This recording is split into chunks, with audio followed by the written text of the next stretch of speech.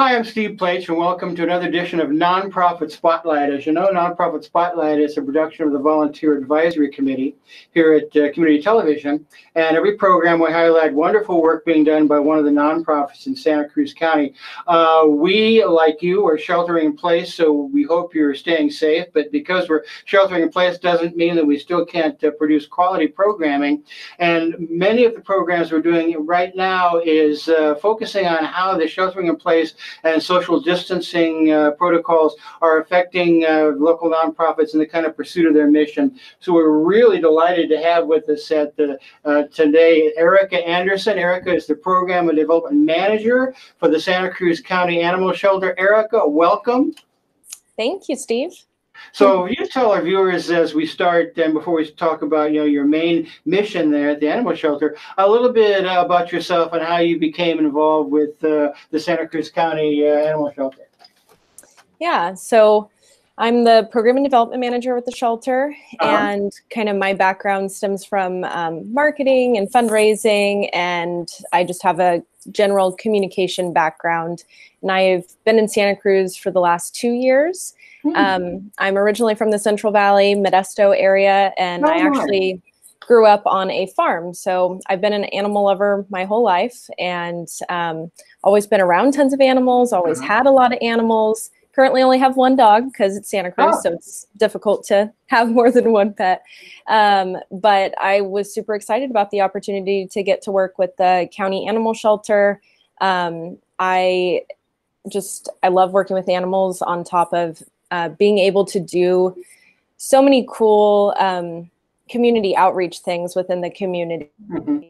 Um, we do different things like our free pet food pantry that we've started since COVID, um, weekly, giving out free pet food, as well as um, going to different food distribution sites in Watsonville and giving out free bags of pet mm-hmm. food there as well.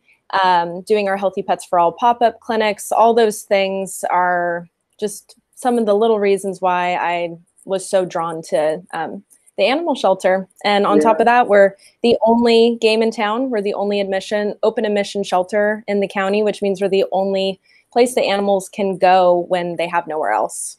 That's wonderful. It's interesting you mentioned the Central Valley. I had a brother that lived in Manteca for many years, so I'm familiar with uh, very warm weather out there and living in the Central Valley. But welcome uh, to Santa Cruz. That's interesting.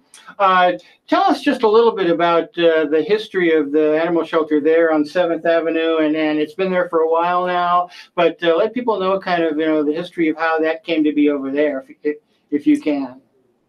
Yeah. Um, so originally, back in the day, over I think over 20 years ago, um, the SPCA actually had the contract with the county with animal control and everything, mm-hmm. and um, that then transitioned into being the Santa Cruz County Animal Shelter. So now we still have the Santa Cruz SPCA. They're a separate organization than us, um, and we are, like I was saying, the only open admission shelter, and we provide all the progressive programs for the community as well. So we have our spay and neuter clinic and our uh, vaccination programs and all the other um, free services that we offer. Um, we also are really lucky to be supported by um, the Santa Cruz County Animal Shelter Foundation, oh. a nonprofit arm oh. of our shelter that right. Um, helps us fundraise and support us in all kinds of project projects and fun things regarding fundraising. Well, we wanted to mention uh, early in the broadcast here that uh, people can donate uh, some money to the, to the animal shelter. It doesn't, uh, all this good work just doesn't happen in a financial vacuum. So they can go onto your website and make a donation on there. Yeah, they can go to scanimalshelter.org and donate um, to specific cause that they're interested in. If they want to support our free or low cost spay and neuter program, Planned Pethood, they can donate directly to that. Um, they can give to our general fund so that we can uh, support all of our programs equally. Um, and people who want to get involved in a different way, they can also donate um, unopened bags of dog and cat food oh, um, okay. as well to help support us in giving away free pet supplies. I didn't know that. Well, that's interesting. But um, so one of the, the focuses of uh, these programs that we're doing here recently during the sheltering in place and the COVID 19 social distancing is how those uh, protocols are affecting uh, particularly volunteer driven or partially volunteer driven organizations uh, like yourself. How is that affecting your ability to kind of do all the things that you need to do? Yeah. So we've been really lucky um, on top of having over 400 volunteers that are amazing and support us in so many ways. We cannot thank them enough. Um, we have been wildly supported by the community during this time. We never shut our doors. I mean, we, we technically locked them so people couldn't come in, but we were still doing adoptions. we were still doing all of our normal things. Um, uh-huh. We actually only stopped doing spay and neuter for about a, the first month oh, of really? uh, shelter in place. And then after that, we worked out ways that we could do um, all of our check in and check out procedures uh, with social distancing in mind. Mm-hmm. Um, our volunteers were waiting and ready to come back whenever we could have them. Um, but in the meantime, they helped us by fostering um, hundreds of animals during this oh, time. Um, currently, I think we have over 70 animals in foster homes oh, between kittens and and dogs uh-huh. and that's been something that we've really focused on and our volunteers have helped us in is that because we're open admission we never stopped taking in animals right. we never stopped adopting out animals um, but we had the lower um, we, we weren't able to have volunteers come in right. which makes it more uh, provides more stress for the staff to be able to get the animals mm-hmm. out um, because for our dogs, for example, they typically get out three, four, five times a day on long walks and playing in the yard. And we didn't want that to stop. So the solution to that was them going to foster homes to really get to spend time with families who were home during this time and get mm-hmm. that socialization and fun time with a family while they were waiting to find their family. Yeah. So now, have you have you been able to continue like the professional services that you're offering? I mean, certainly spay and neuter and chip insertion and things like that would be kind of professional services that seem to be uh, would be doing on site. You still haven't offered those? Yes. So we switched everything to be online. So we mostly are able to do all of the forms and documents from our adoption application to our surgery waiver. They're all online to kind okay. of help um, with the social distancing protocol. Um, for spay and neuter, for example, um, we come out and get the animal from the vehicle. Everyone's wearing masks. We keep a, a distance. A dog's leash is six feet typically distance. Really? So that's that. um, and with cats, they're in a carrier. So we have them set the carrier down and then we take the carrier. Um, mm-hmm. So there's lots of ways that we've been able to do that. And um, it's been working really well. Uh, that's the thing with um, the Santa Cruz County Animal Shelter is we provide so many free services and we're the only ones who are doing that in the community. Right. So we really strongly felt that it was necessary that we figure out a way to make it work um, mm-hmm. because our community needs it. They need the free and low cost spay and neuter, they need the low cost vaccinations, they need pet food. Um, and also they need a place for if their animal gets gets out of the yard and yeah. somewhere for it to return to. So our animal control officers have been working this whole time. And something else that I'd like to mention is that um, all of our staff was deployed as disaster service workers with the county. So we are the smallest department in the county, and we had the most employees show up to work at um, the different, uh, for example, I, I volunteered at a homeless shelter mm-hmm. in downtown Santa Cruz um, for multiple weeks. Um, when shelter in place first started. So that's something that all of our staff participated in, as well as working at the at our, our shelter doing their normal daily tasks. That's wonderful to hear. Uh, one of the other hats that I wear is as a coordinator for the Faith Community Shelter, which is your rotating shelter uh, run by our local churches. And now those folks are sheltering in place at a couple of local churches. So uh, wonderful work. And it's a great testimony to you and your staff and your volunteers and your people that you're really kind of continuing this great work under, you know, circumstances that make it just a little more difficult to really be able to do it. So we really appreciate that. One of the things that we mentioned earlier that I wanted to talk about uh, was that uh, during the sheltering in place, people uh, have an increased uh, desire to get a pet. Is, is that uh, so? You've had kind of an uptick in people wanting to come in and adopt?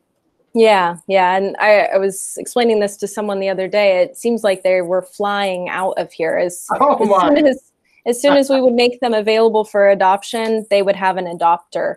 But Uh-huh. with that being said, um, they've all been really great people coming forward that are thinking to themselves, I've always wished that I had a significant amount of time to take off work when I get a new pet because I would really like to kind of be home with them during this time, but I can never commit that vacation time to them or this, that, and the other thing comes up. Right.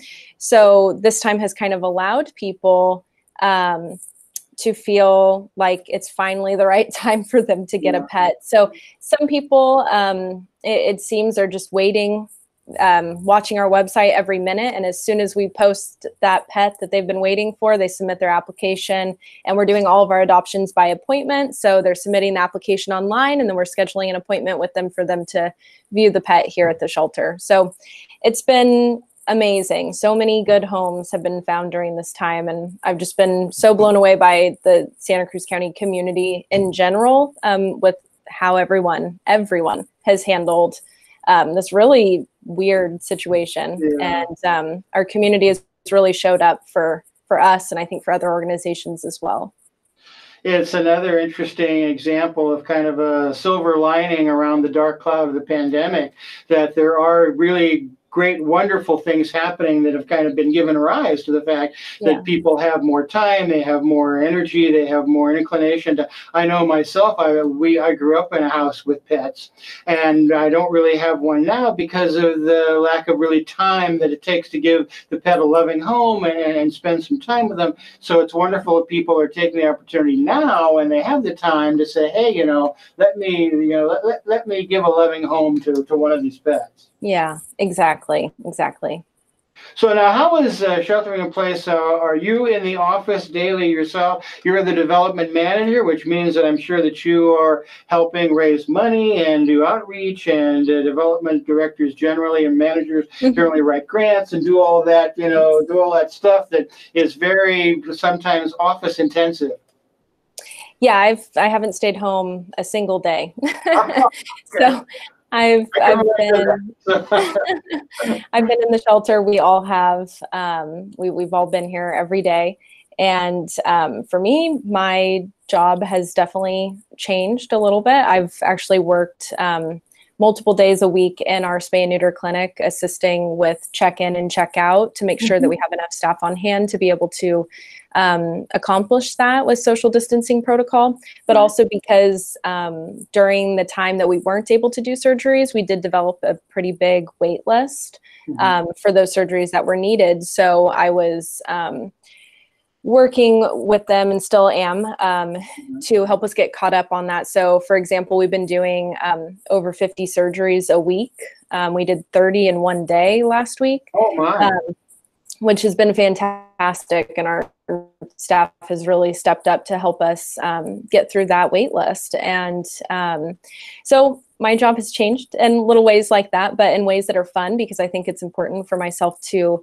Um, I wouldn't normally be vaccinating animals or helping in surgery, but it's something that helps me then better understand what I'm writing grants for or um, talking to people about what we do and why it's so important um, to actually get to see the firsthand um, with the spay neuter clinic. So it's been, I keep saying it, but the most normal place that I've been during shelter in place is here, is at the shelter, is at work. Um, because we've been doing everything pretty much the same, just being safe with our social distancing and wearing face masks and all that. Um, but I mean, it's more normal here to me than going to the grocery store.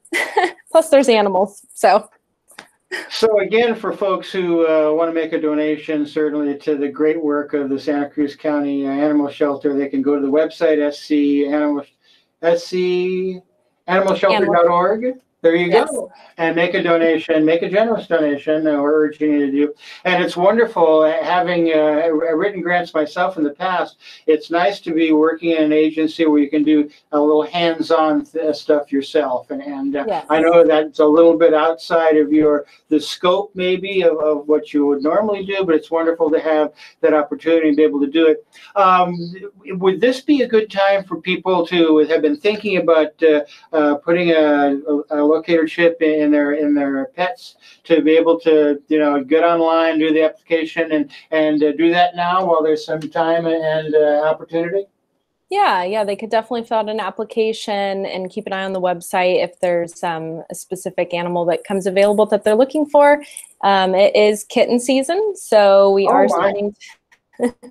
we are, are starting to have um, literally tons of kittens. Um, so people can keep an eye out for kittens specifically. Now, do you have uh, also over there at the uh, the animal shelter some larger animals over there, rather than everybody thinks of the animal shelter as you dogs and cats, but but certainly the animal kingdom, you know, encompasses a lot Yeah. more than that.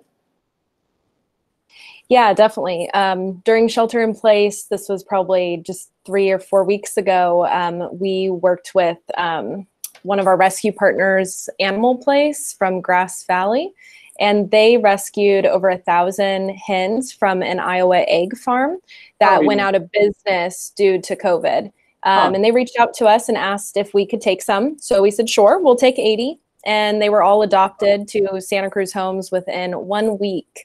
Is that Um, right? Oh, it was very very interesting but also so cool to see the the hens when they arrived they were taking dust baths and enjoying the the rain and uh, Oh. they were just having the best time because they were egg hens um, that were probably kept in close quarters they were debeaked so they're missing part of their beaks and Uh-huh. their feathers were kind of messed up. Um, typical things that you see with the egg laying hens like this. Um, so it was so exciting to get to see them go to really good homes in the local community where people are going to take good care of them and also get some breakfast out of it, which is nice too. Yeah. You and we have uh, the larger animals, the uh, the goats or horses or things like that? we have a potbelly pig right now. Oh, really? Um, there you go. Yeah, yeah. We don't have a horse or goats right now. Um, we did probably a month or so ago. They they come and go. Um, Uh-huh. we typically work with rescue partners to place um, those animals. So this pig, for example, I think she's leaving probably in the next day or so to go to um, Little Hill Sanctuary out in Watsonville. Uh-huh.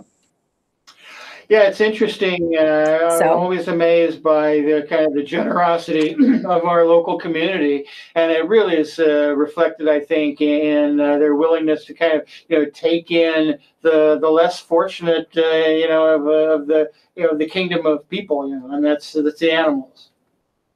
Yes, yes, definitely. And I think um, something that I've been reminded of a lot during this time is how much um, I think sometimes it's assumed that our animal shelter or any animal shelter that um, we only help animals because we're an animal shelter. But in helping animals, we are helping people constantly, either by providing the cost free or low cost services um, and by reuniting them with their animals or helping them when they're no longer able to care for their animals. It's it's definitely it's all connected. We're helping animals when we help people and we're helping people when we help their animals Do people come to the uh, to the shelter um, looking for uh, emotional support or physical support animals? um every now and then but that's not really what we specialize in so a lot of times we'll direct people to Uh-huh. um, do some research and see what they're looking for as far as the service animal goes.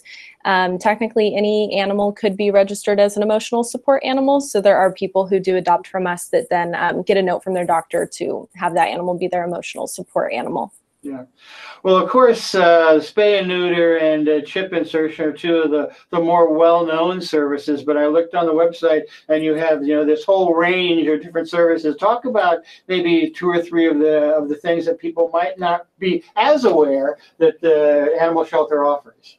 Yeah, yeah. So one of my favorite things that we do is our Healthy Pets for All program.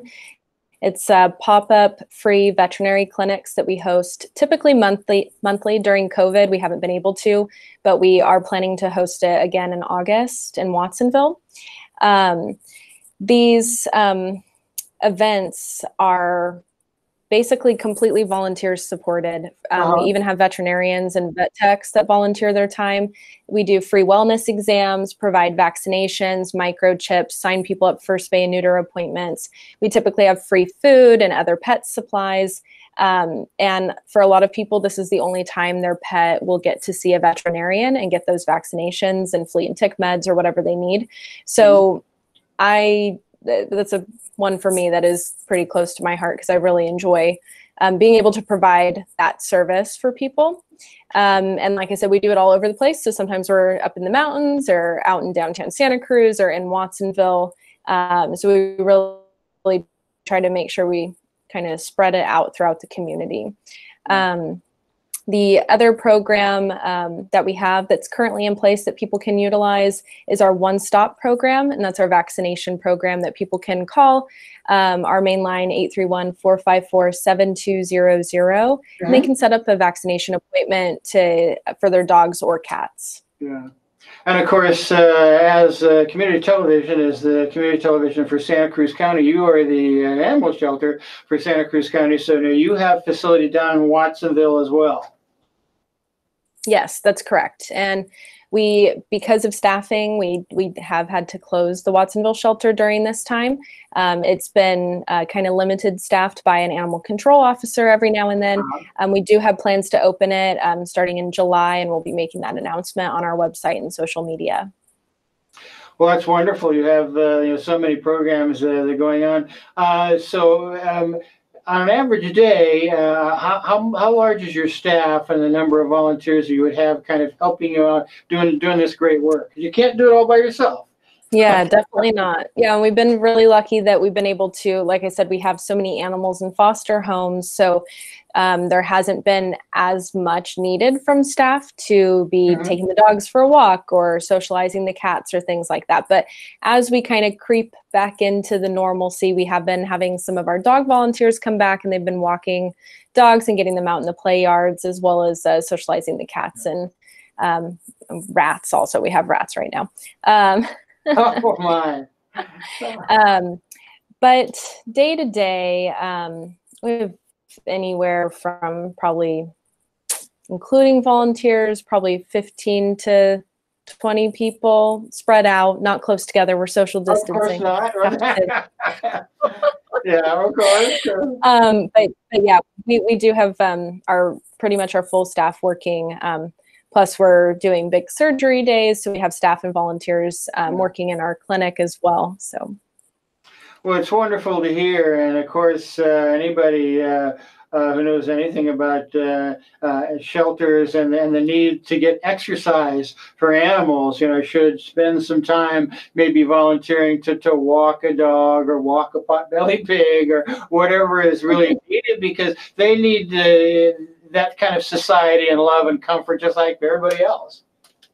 Yeah, exactly. I was out with one of our volunteers um, yesterday, and she just sat down on the bench, and the dog just jumped up on the bench and just sat next to her, just like kind of saying thank you for Uh-huh. being here with me. And it just the animals totally appreciate it, and they they show you that they appreciate the time um, that the volunteers and the staff spend with them. Um, and currently, we're not doing any um, new volunteer orientations right now, just because Uh-huh. we haven't decided if we're going to do them virtually, similar to something like this, or how we're going to bring in new volunteers. Right. Um, like I said, we have over 400 volunteers, and we're Mhm. trying to slowly bring people back. So it is difficult right now, but we appreciate all the people who want to volunteer. So anyone can reach out and um, kind of get on the the interest list so that we can Right. let people know when we're ready. So uh, when you have uh, these orientations, uh, how long does an orientation generally last for somebody to kind of get uh, you know kind of oriented and then ready to really be able to help out? Yeah. Um, so we start with a general volunteer orientation. That's typically a 30, 45 minute presentation Uh-huh. um, where we just kind of let um, people know about who the shelter is and what we do and the type of animals that we um, typically see. If they're still interested at that point, then they sign up for a dog or cat TLC class. um, where they learn in a group setting with um, another experienced volunteer, mentor, trainer. Um, and they get to learn about kind of the procedures and protocol at the shelter and kind of um, just see what it's like day to day for a volunteer. After that class, if they're still interested, that's usually about an hour class, uh-huh. then they would sign up for an, a one-on-one mentor training with an experienced volunteer where they would get to then learn how to get the cat out of the kennel or get a dog out of the kennel and take them to the yard and how to put on the dog's harness or different things like that so that they really get a hang of it. If they feel comfortable after that, then they typically can start signing up for volunteer shifts. Well, it's wonderful that you uh, give people such a thorough indoctrination because there is a lot to being able to, to gently and, and, and, and properly handle animals and make sure that they're comfortable and you're comfortable.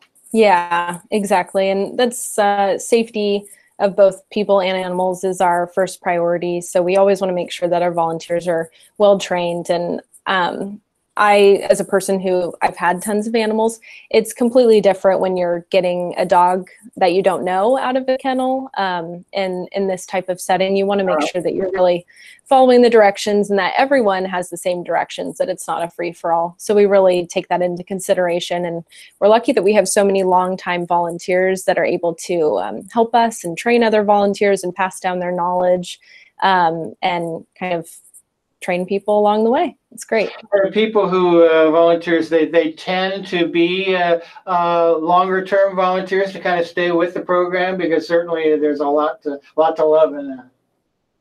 Yeah, definitely. We have uh, some volunteers that uh, just contribute hundreds of hours a year. Mm-hmm. Um, and prior to shelter in place, I can think of quite a few volunteers that I feel like they work the same hours that I do. They're here 40 plus hours a week, uh, yeah. which is amazing as well. We greatly appreciate it. Yeah. yeah, it's amazing. Yeah, and it is wonderful. Again, it's a reflection of how generous our community is, and how willing people are to give you know some of their time, or and some of their volunteers uh, case a lot of their time to something that really is is so essential. It's a reflection of our community values, and so I think it's important for people to kind of you know take that into consideration when they're thinking about making a donation to scanimalshelter.org. We have about a minute or so left. Uh, what's the future holding for the animal shelter and and you and your staff and volunteers over there as we kind of move through the pandemic?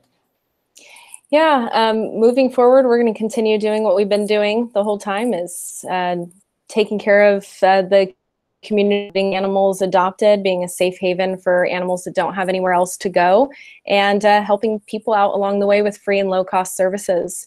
Um, as we move forward, we will eventually be fully opening our doors and letting people come back in and um, walk through the dog kennels or cat kennels or rabbit kennels and actually see the animals. But for now, it's all just online. And um, I've been really impressed with our staff's ability to transition into this way so quickly and to just keep pushing forward. And um, we appreciate all the support from everyone in the community, the, the patience, the respect, and just the generosity in general.